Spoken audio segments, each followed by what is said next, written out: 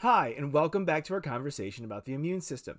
Today, we're going to start a two part conversation about what happens when the immune system doesn't behave appropriately. These are referred to collectively as diseases of the immune system. Now, this can occur in, in two different ways. One is what happens when the immune system is hyperactive or hypersensitive. This is what happens when the immune system essentially overreacts. The other way, which we're going to talk about today, are referred to as immunodeficiencies. This is what happens when the immune system essentially underreacts. In other words, the immune system isn't quite strong enough for one reason or another to help fend off infections like a normal immune system does. So stay tuned today while we talk about what happens when our immune system underreacts to an invasion.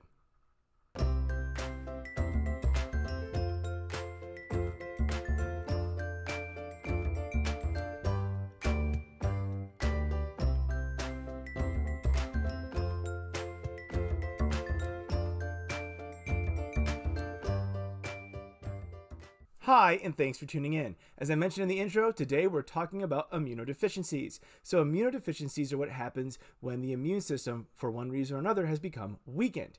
Now, immunodeficiencies come in two different varieties primary and secondary. The easiest way to distinguish between these are that primary immunodeficiencies are going to be those with which you are born. Secondary immunodeficiencies are one that you will acquire through your life experiences. And we'll talk about each of those in turn. Let's begin by talking about primary immunodeficiencies. So, there are roughly 200 different primary immunodeficiencies that have been identified. And of those, about 60% of those approximately involve B cells. In other words, issues that impact B cells. Now, um, primary immunodeficiencies could actually affect all different kinds of cells in the immune system. So, and, and, what type of cell they impact also influences what tissues and which type of diseases a person becomes more susceptible to. So, for example, uh, immunodeficiencies that impact T cells primarily are going to impact the ability of an individual to respond to bacterial infections, uh, as well as viral infections and parasitic infections and fungal infections because they will essentially be unable to mount a T cell mediated response, which can impact other branches of the immune system as well. On the other hand, an immunodeficiency that specifically impacts the B cells is more likely to damage the person's ability to respond to bacterial infections, predominantly encapsulated ones and those that infect the, it, uh, attack the GI tract. But they also seem to have struggle. They also seem to struggle with many viral infections if somebody has an immunodeficiency that targets either uh, your phagocytes or it impacts it impacts the complement system, that's going to be something that's more more likely to impact their ability to react to various bacterial infections. So there is a degree of tissue specificity as well that we won't get into, but in large part, when we talk about the impact of an immunodeficiency, it's going to depend on which branch of the immune system is actually being impacted by that particular immunodeficiency. So let's start by talking about some primary immunodeficiencies that predominantly target the T cell branch of the immune system. The first one we'll talk about is something called SCID, or Severe Combined Immunodeficiency. This can happen as a result of one of a dozen mutations that have been identified and result in the de development of SCID. So the mutations either occur in either in either the interleukin 2 receptor or affect an enzyme called adenine deaminase or ADA. If the mutation that causes SCID is one that's in the IL-2 receptor, that is going to impact mainly the function of T cells, since interleukin 2 is a cytokine that's really responsible for the proliferation and activity of T cells. On the other hand, if it is a mutation that impacts adenine deaminase activity or ADA deficiency, this is a form of SCID that not only will target the T cells, but it will also target the B cells as well as the natural killer cells.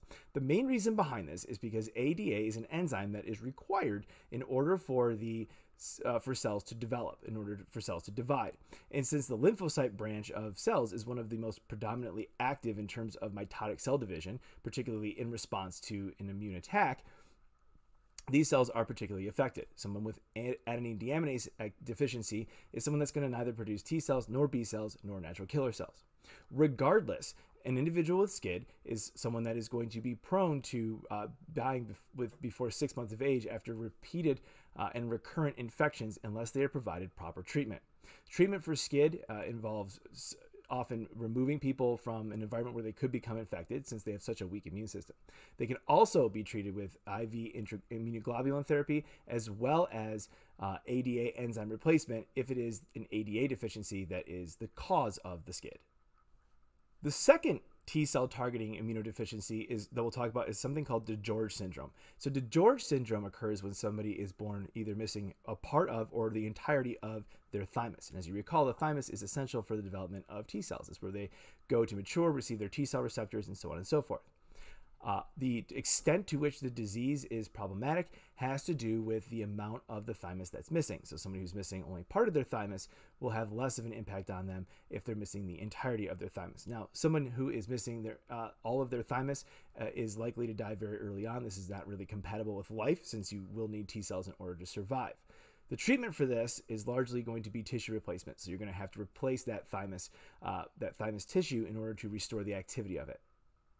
The last one we'll talk about in terms of T cell immunodeficiencies is something called MHC2 deficiency. This occurs when a mutation impacts the ability of a, of a person's antigen presenting cells from being able to properly produce class 2 MHC receptors. If you recall, MHC2s are the ones that are needed to present antigen in order to activate helper T cells. And without proper helper T cell activity, uh, it becomes very challenging for the body to mount a full blown immune response in response to an invasion. So, people that have class 2 MHC2 deficiencies, uh, these are individuals that are going to be susceptible to a wide range of infections throughout their lifetime. Next, we'll move on to B cell disorders or disorders that are going to specifically target the B cell lineage. The first one we'll talk about is something called X linked A gamma globulinemia. In other words, these are people who are going to, through a mutation, they're going to be unable to actually properly produce immunoglobulins. As a result, if you recall, immunoglobulins are the genes that, in, or immunoglobulins are the proteins that are needed to form antibodies as well as T cell and B cell receptors. Individuals who lack immunoglobulins are unable to produce uh, antibodies and as a result have a very poor antibody response. Uh, they are susceptible to a broad range of infections. They're particularly susceptible to encapsulated bacterial infections. As you know, um, encapsulated bacteria are, are very tricky for your body to target, and antibodies are our best weapon against them. People that have this are often treated with uh, IV immunoglobulin therapy, so they're going to replace the immunoglobulins uh, with, with synthetic ones or ones derived from uh, another source to help them fight off the infection. Another immunodeficiency that specifically targets B cells is something called common variable immunodeficiency. So, this is what happens, and we believe it's the result of mutations that impact uh, various CD receptors on the surface of B cells. What ends up happening here is these cells fail to differentiate into plasma B cells. In other words, they don't produce the B cell lineage that's able to properly produce antibodies. Now, depending on the mutation, uh, that will it will impact the person in different ways. So, some patients that suffer from combined variable immunodeficiencies produce almost no antibodies whatsoever. Other patients suffering from from common variable immunodeficiencies produce one class of antibodies but lack others, or just some of some classes of antibodies but still don't produce others. Uh, the replacement or the treatment for this is often um, intravenous uh, immunoglobulins, so IVIG, uh, to help replace those immunoglobulins that their body is unable to produce, as well as frequent antibiotic usage to help treat off any infections that they might be exposed to. They are, of course, susceptible to a wide range of infections, particularly those of encapsulated bacteria and those that impact the respiratory and the gastrointestinal tract. The next two B cell immunodeficiencies refer to what happens when a specific class of antibodies is either overrepresented or underrepresented or missing. So the first one's called hyper IgM syndrome. So if you recall, hyper IgM antibodies are the first class of antibodies that get produced. They're particularly adept at opsonizing bacteria, uh, opsonizing bacteria and and doing something called complement fixation. But what happens in most cases is through the influence of those follicular helper T cells, those B cells go through a process of class switching and change the production of other antibody classes that are needed in response to certain infections, since IgMs aren't always the best in order to fight off all infections. But these particular individuals have a mutation that interrupts CD40 signaling. So if you remember, CD40 is that co-stimulatory signal, and that's also the way in which uh, T cells are able to influence which type of of antibodies should be produced by a given B cell.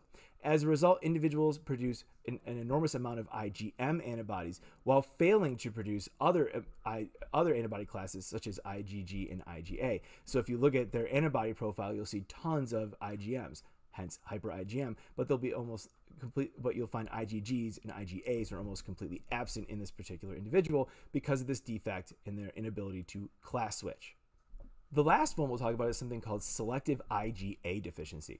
So these individuals have the inability to, to class switch to IgA antibodies. Now, the interesting part about this is unlike many of the other immunodeficiencies we spoke about, somewhere between 85 and 90% of people with selective IgA deficiency are asymptomatic. And this is particularly interesting because IgA antibodies are the most common form of antibody in the body because remember, they guard the mucous membranes and the gastrointestinal tract. Now, some individuals do present with recurrent infections in the in the uh, respiratory tract as well as the gastrointestinal tract where those IgA antibodies are needed. But like I said, somewhere between 85 and 90% of people that suffer from this will never even know they suffer from it because they don't have any outward symptoms. The reasons behind this are actually quite controversial, and it's unknown why IgA, why these individuals who lack IgA antibodies, for the most part, aren't affected by this. So that covers primary immunodeficiencies. What about secondary immunodeficiencies? Well, secondary immunodeficiencies are those that have to that you acquire through your life experience. Now, some of them are fairly obvious. So, for example, if you happen to be a person who is living with AIDS or a person who has another type of of disease that may impact their ability to fight off infections, such as cancers um, or undergoing chemotherapy, this is pretty uh, understandable why you would have an immunodeficiency. Other things that can impact your ability to respond to an infection and render you either temporarily or permanently immunodeficient are, for example, your age. So, being very young or being very old can also constitute immunodeficiency. Very young individuals between less than two years of age and very old individuals, particularly those that are already in poor health, are much more susceptible to infections simply because the body doesn't have the capability of producing the immune response that you do when you're in more of your when when you're in of those middle ages, somewhere between two and and 80, for example. Another thing that can impact you and count as a secondary immune deficiency is being pregnant. So, one of the things that happens in pregnant women actually is their immune system kind of tunes itself down a little bit. One of the reasons for this is quite simply because there's now another human being living inside of you.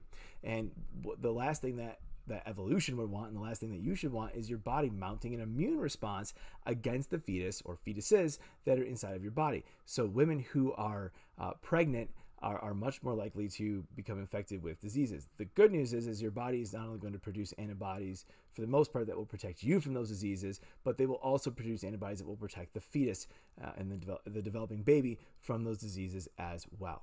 A couple other things that could count as secondary immunodeficiencies, uh, just being sick in general. So, one of the things that's quite common are what we call secondary infections. So, these are infections that happen following a previous infection. So let's say you have a cold, now you're much more susceptible to other diseases because your immune system's already busy fighting off another infection and may not have the capacity to fight off subsequent infections at that point. Other things such as stress and lack of sleep can also can also lead to uh, a, a decrease in your ability to respond to infections. One of the things that happens, for example, when you're stressed out, is your body produces stress hormones, things like cortisol. And one of the things we know about cortisol is that can actually act to tamp down your immune response, which is why if you're stressed out or you're not getting enough sleep, you're much more susceptible to diseases because your body's already stressed out due to those two things. The last thing we'll talk about in this in this video is going to be lymphoid cancers. So one of the things that I mentioned before is that your lymphatic system is probably the one that divides has more cell division than any other system in your body. As a result of the high levels of cell division, there's also a great deal of surveillance that has to happen. And what that means is your, your body has to constantly be on the lookout for lymphoid cells that are improper or could potentially be cancerous. So there's a good deal of surveillance that happens. This, this largely has to do with uh, the ability of cells that are abnormal or cancerous to produce abnormal proteins and carbohydrates. They put abnormal surface molecules out there that can actually act as signals for other cells to come along and destroy them so that we don't develop something called lymphoid cancers. Now, there are four common types of lymphoid cancers, and I'm not going to go over many examples. I'm just going to go over these four classes briefly so that you're able to distinguish between the four of them. The first one is what is called a lymphoma, and this is the most common form of lymphatic cancer. So, lymphoma occurs when you have a solid mass or solid masses when in one or more lymph nodes. So, you actually notice swelling of those lymph nodes as that mass grows. So, essentially, these are lymphoid tumors.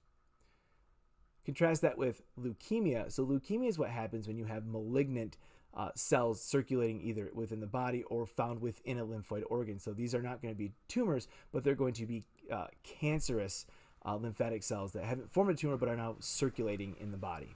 The third type of lymphoid cancer is called plasmacytoma. So, plasmacytoma is what happens when you have malignant plasma B cells uh, that are forming a tumor in one of the one typically in the bone marrow, uh, but there are also ones that occur outside of the bone. But it's a single solitary tumor caused by cancerous plasma B cells. The other one is referred to as multiple myeloma. So the fourth one is multiple myeloma, and this is what happens when you have multiple uh, plasma, uh, plasma B cell tumors growing in several different parts of the body. Uh, this is actually an incredibly uh, incredibly painful form of cancer that's typically only found in individuals greater than 65 years of age. Thank you guys so much for tuning in today. Today we discussed immunodeficiencies, or what happens when the body is unable to respond appropriately to an invasion for one reason or another. In our next video, we'll tackle hypersensitivities. And this is what happens when our immune systems are actually too powerful or they respond too strongly. Thank you so much for tuning in today. I hope you guys are learning a lot, and I'll see you guys next time.